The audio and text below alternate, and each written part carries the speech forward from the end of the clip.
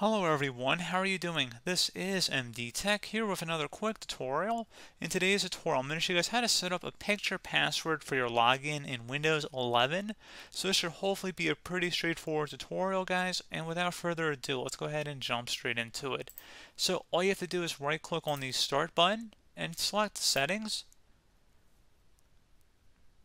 you want to select on the left side accounts. So go ahead and select accounts. You can search for it too in the search menu.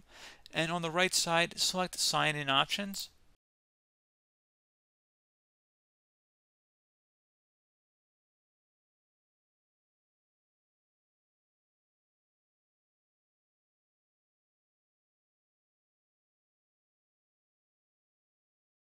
And now you want to select where it says picture password. Swipe and tap your favorite photo to unlock your device. Select that.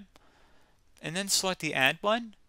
At this point, go ahead and enter your computer password and select OK. Select choose a picture. Doesn't matter which one. I'm actually going to just use my desktop wallpaper that I have saved as an image on my desktop. And I'm going to go ahead and select to use this picture. And then I'm going to draw a connection here. So you got to do one step, two steps, and then three. And then it'll ask you to confirm that. And then once you're done, select finish. So now if we were to close out of here and sign out,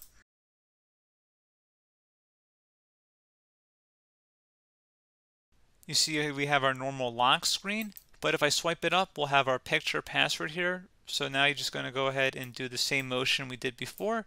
Just don't forget, again, it's going to be custom for whatever your photo is.